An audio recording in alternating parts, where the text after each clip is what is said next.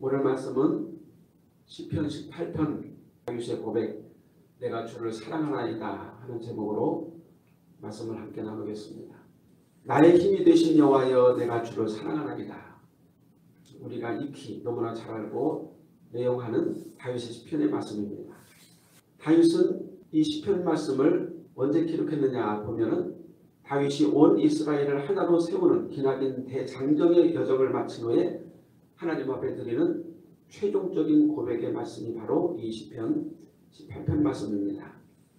그 이유는 사무엘하 22장 1절 말씀에 여호와께서 다윗을 모든 대적의 손과 사울의 손에서 구원하신 그날에 다윗이 이 노래의 말씀으로 여호와께 아뢰어라고 표제구에 붙어있기 때문입니다.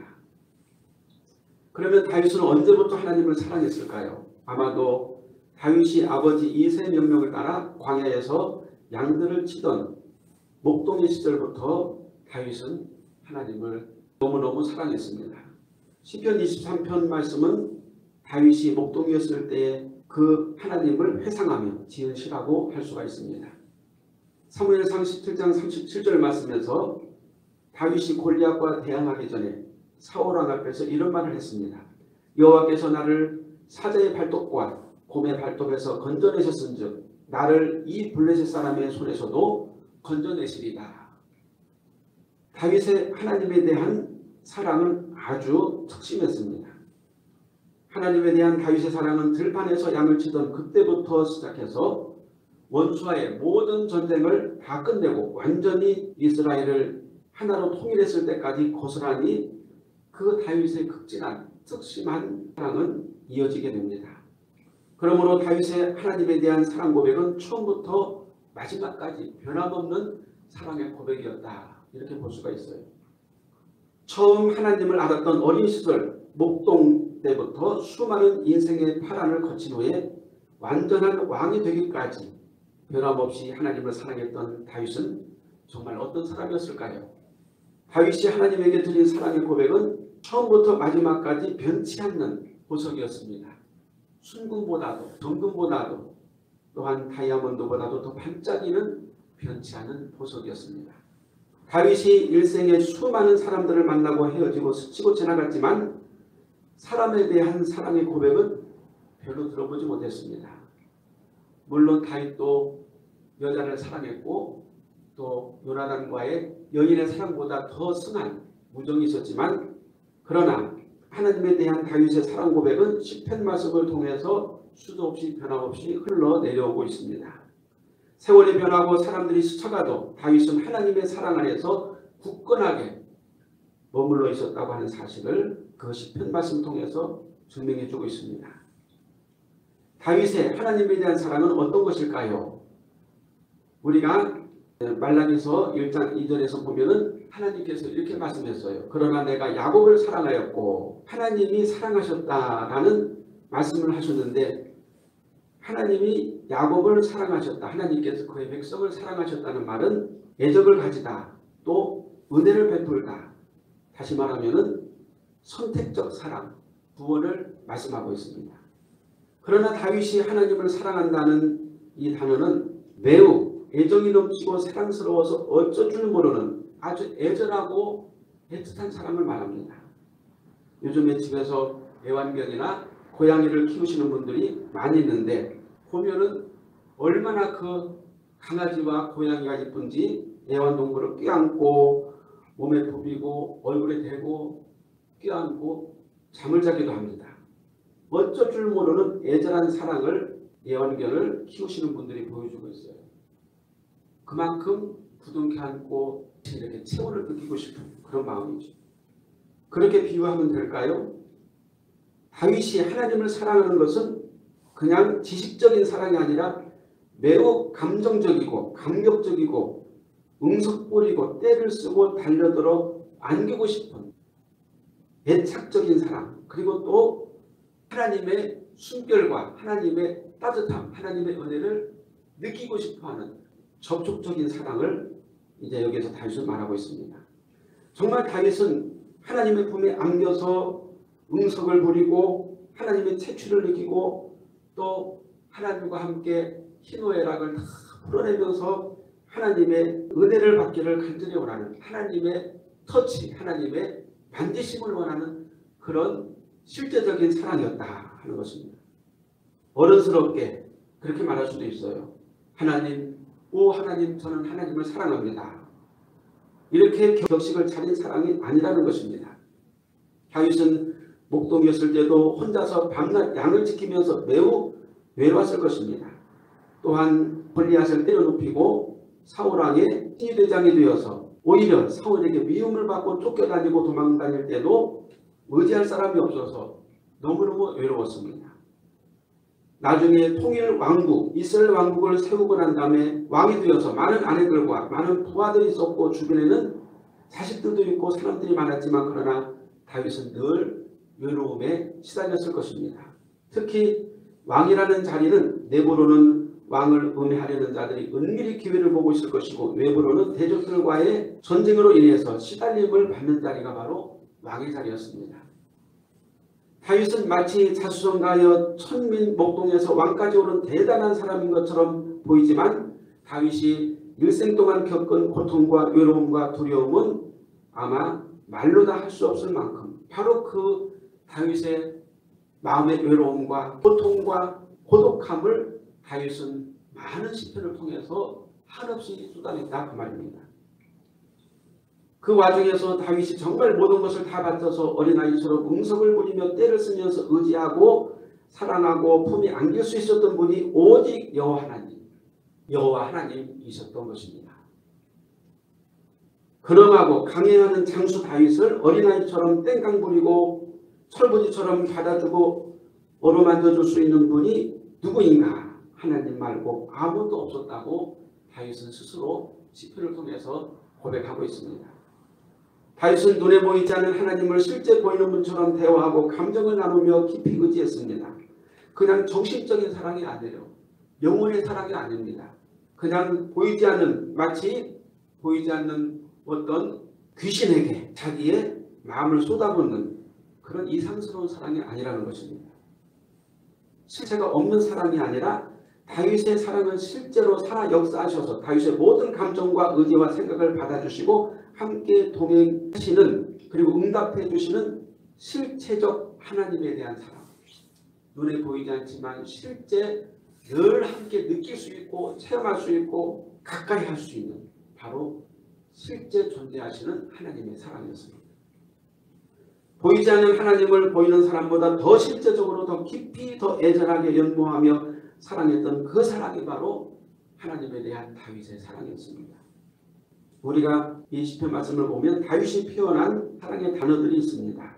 다윗은 하나님을 사랑한다는 말을 여러 가지로 표현했어요.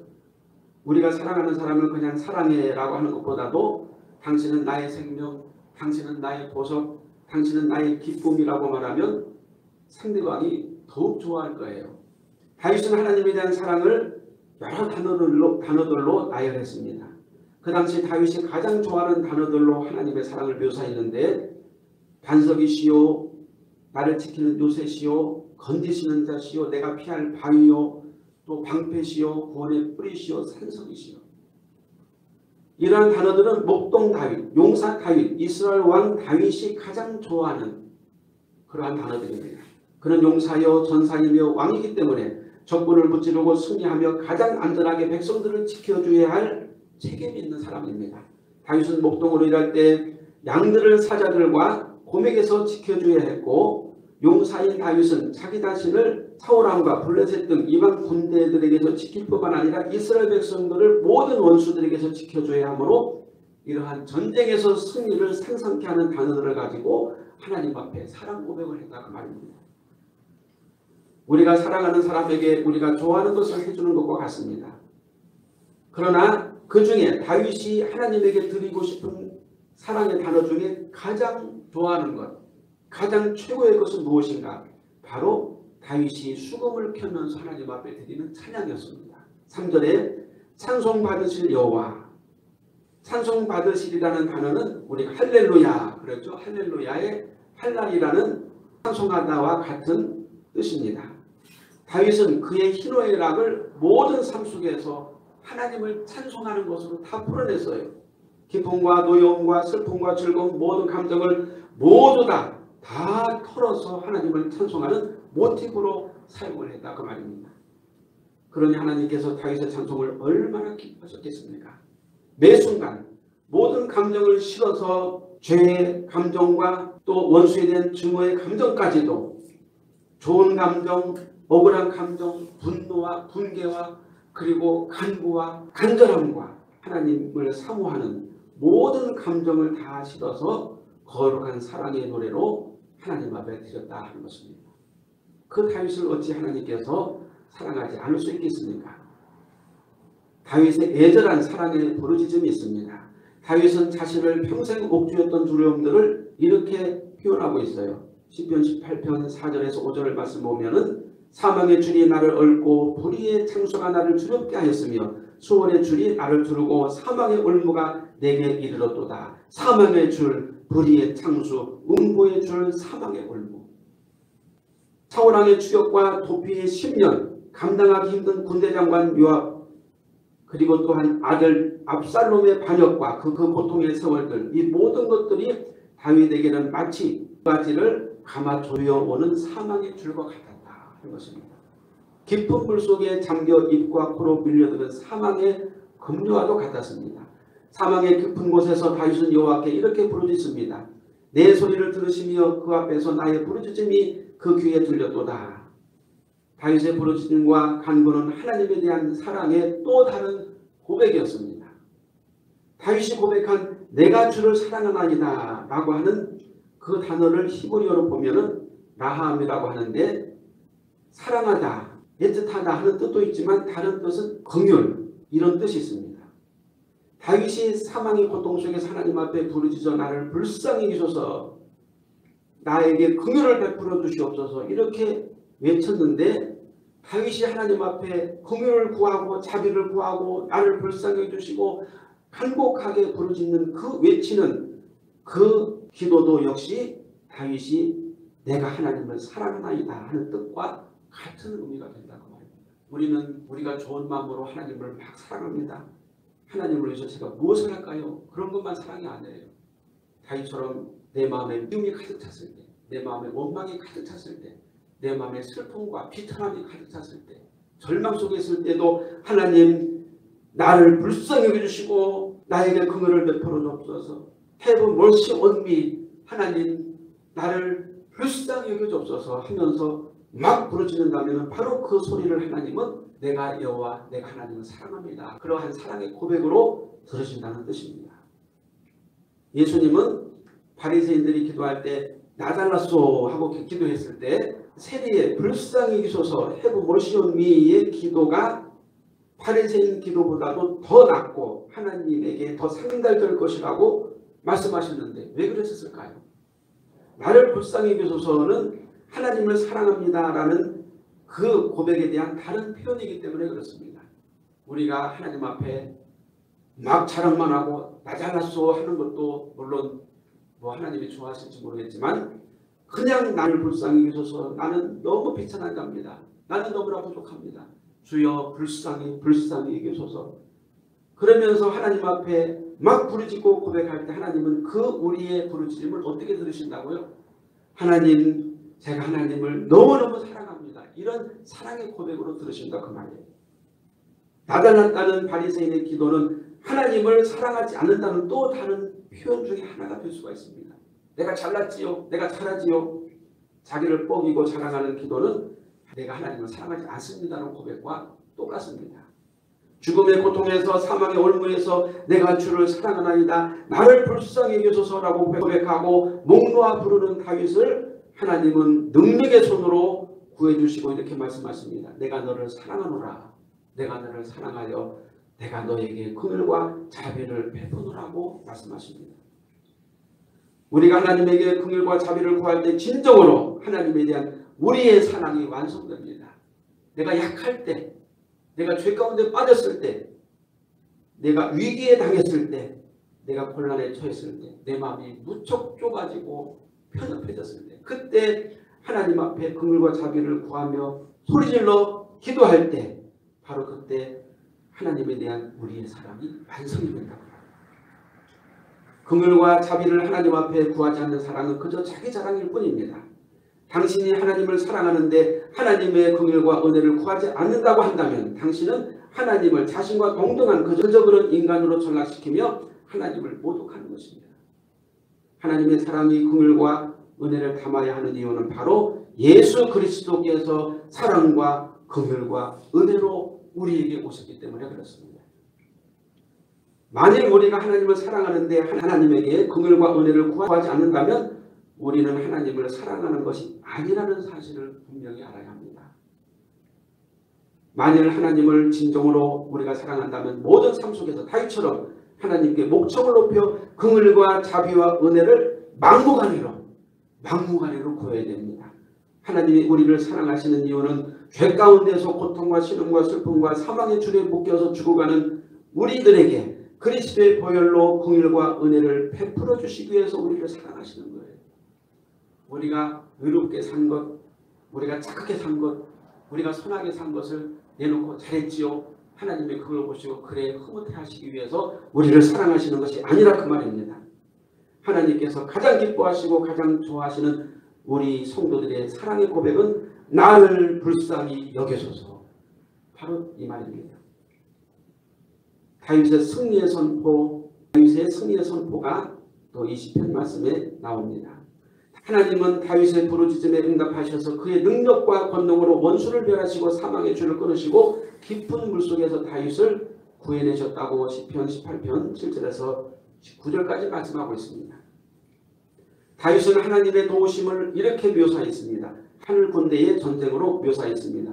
그룹을 타고 나르스며 바람 날개로 높이 뜨셨도다. 다윗을 도우신 하나님은 이 땅에는 육신의 군대가 아닌 천사장 미가엘이 이끄는 하늘 군대를 보내셔서 세상 군대들의 모든 계략을 속수무책으로 파하셨던 것입니다. 다윗이 블레셋과 주변의 이방 군대들과의 전쟁을 할 때 치밀한 전략을 세웠지만 이 전략도 하나님 앞에 다윗이 기도하고 하나님이 주신 지혜로 짠 것입니다. 다윗 자신의 경험이나 지식이 아니에요. 다윗이 짠 전략이 바로 하나님의 하늘 군대였던 것입니다.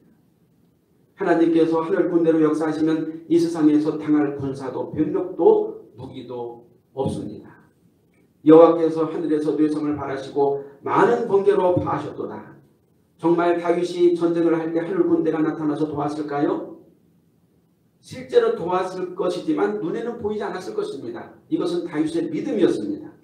실제로 천사가 나타나고 그 현상이 눈에 보이지 않았다 하더라도 다윗과 그의 군대 배후에 진천이 있는 하늘 군대를 다윗은 눈을 들어서 다윗은 믿음의 눈으로 바라본 것입니다. 다윗이 어디를 가든지 여호와께서 이기게 하셨더라. 사무엘하 8장 14절에서 기록하고 있어요. 118편 6절에 여호와는 내 편이시라 내게 두려움이 없나니 사람이 내게 어찌할꼬 다윗은 자신의 군대로 승리했지만 자기가 적국을 이겼다고 하지 않고 여호와 하나님께서 하늘 군대로 도우심으로 믿었고 모든 사람들에게 여호와께서 적군을 대적을 이기게 하셨다고 온 세상에 선포했어요. 여호와 하나님의 도우심을 선포하지 않고서는 다윗은 절대로 전쟁도 승리도 쟁취하지 않았다고 하는 것입니다.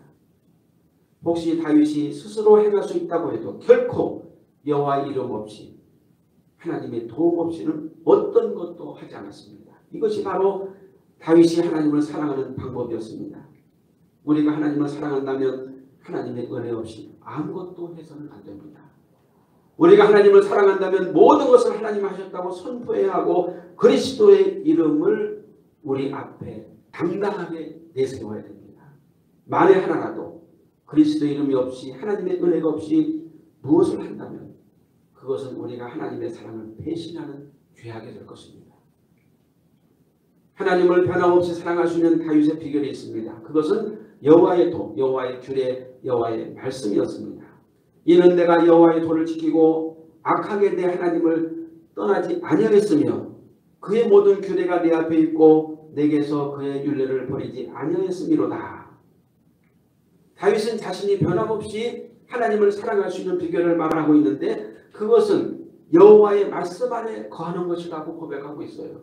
보이지 않는 하나님을 보이는 사람처럼 더 구체적으로 실감나게 생생하게 사랑할 수 있는 비결은 다윗이 명백한 하나님의 말씀 안에 거하는 것이었습니다. 예수님은 다윗의 사랑법을 이렇게 확정해 주셨습니다. 요한복음 15장 10절에 내가 아버지의 계명을 지켜 그의 사랑 안에 거하는 것 같이 너희도 내 계명을 지키면 내 사랑 안에 거하리라. 하나님의 사랑이 육신이 되어 이 세상에 오신 말씀이 곧 우리 주 예수 그리스도이십니다. 다윗은 하나님의 말씀으로 오신 그리스도를 진정 사랑하고 사모한 것입니다. 그래서 다윗은 위대합니다. 다윗은 하나님의 말씀을 어떻게 받았습니까? 다윗이 거룩한 성령으로 하나님을 너무나 사모하고 보고 싶어서 그리워하고 사무치게 갈망할 때 하나님은 다윗에게 다윗의 영혼에 하나님의 말씀을 내려주셨습니다. 다윗은 하나님이 주신 거룩한 말씀을 그의 영혼에 인치고 그 말씀을 붙잡고 모든 전쟁과 치열한 삶을 싸우며 살았던 것입니다. 이 하나님이 이 하나님이란 구절이 두 번 나오는데 시편 8편 32절에 이 하나님이 힘으로 내게 띠띠우시고 내 길을 완전히 가시며 시편 18편 47절에 이 하나님이 나를 위하여 보호해 주시고 민족들이 내게 복종하게 해 주시도다라고 되어 있습니다. 여기서 이 하나님이라는 말은 무슨 의미인가요? 한글 성경 번역이 참으로 멋들어지게 번역을 해놓았습니다. 실상 이, 이라고 하는 말은 원본에 히브리어 성경 원본에는 없습니다. 그런데 이 영어 성경에 보면 이런 부분이 있습니다. It is that God. It is that God. 나를 능력으로 띠띠우시고 나의 길을 완전하게 하신 분이 곧 하나님이시다 하는 의미입니다. It is that God. 나를 위해 원수를 갚아주시고 민족들을 내 안에 굴복하게 하신 분이 곧 하나님이시다.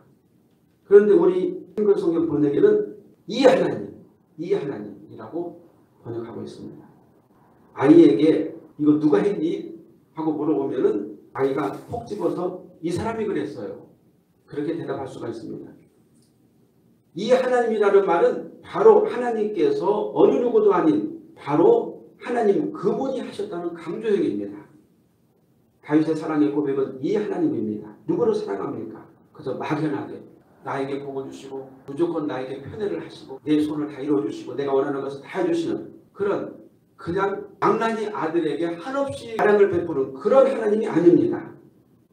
다윗이 말하는 이 하나님은 나를 사망에서 구원해 주시고 나에게 은혜를 베풀어 주시고 기도할 때마다 들어주시고 모든 원수와 적들로부터 구원해 주시고 죄와 사망과 모든 불의와 불법에서 나를 건져내 주시는 바로 이 하나님을 내가 사랑합니다. 그렇게 고백하고 있어요. 다윗은 또 내 하나님이라고 말합니다. My God.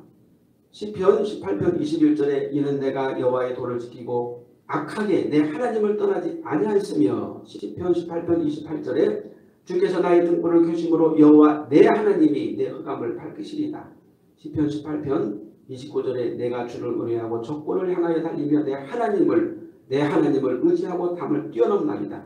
다윗은 하나님을 나의 하나님 바로 그 하나님이라고 확실하게 또 지정하고 그 하나님이 곧 나의 하나님이다. 이렇게 부르고 있습니다. 하나님만 우리를 지명하신 것이 아니라 우리가 하나님을 지명하고 콕 집어서 나를 지명하신 나를 선택하신 하나님이 바로 내 하나님이고 바로 그 하나님입니다 라고 부르는 것이 진정한 사랑이죠. 하나님은 우리를 콕 집어서 선택하셨는데 우리는 막연하게 그냥 하나님 하나님 잘 모르겠어요. 그냥 하나님 이렇게 말한다면 얼마나 정말 하나님이 섭섭하실까요? 다윗이 하나님을 사랑한 사랑 하나님께서 우리를 사랑하신 그 사랑은 아가페 사랑입니다. 아가페 사랑은 절대적 사랑이며 선택적 사랑입니다. 하나님께서 우리를 향한 절대적 사랑이며 선택적 사랑이 아가페 즉 예수님을 우리에게 주신 사랑입니다.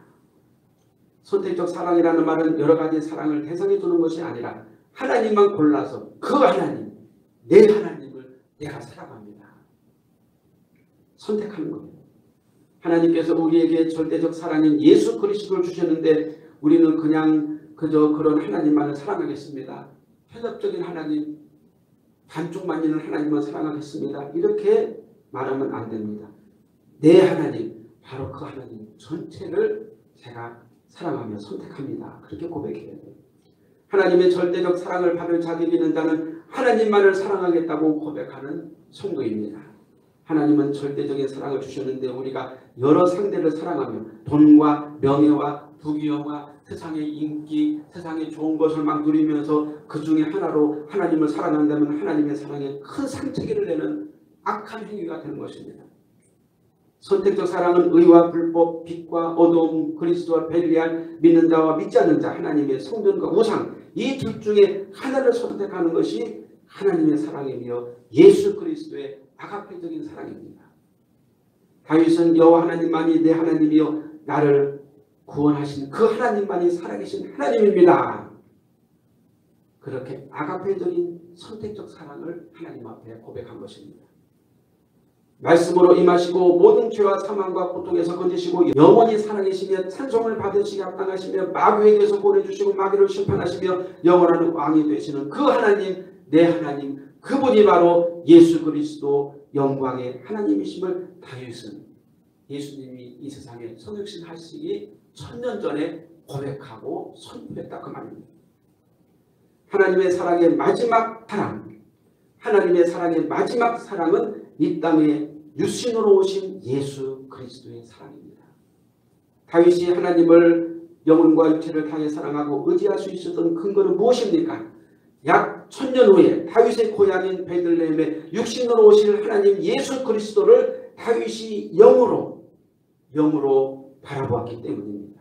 그러므로 다윗이 고백하는 나의 주 내 하나님은 예수 그리스도이며 예수님이 성육하시기 천년 전에 이미 다윗은 모든 사람들에게 이렇게 고백하고 있어요. 예수는 나의 주시며 나의 하나님이십니다.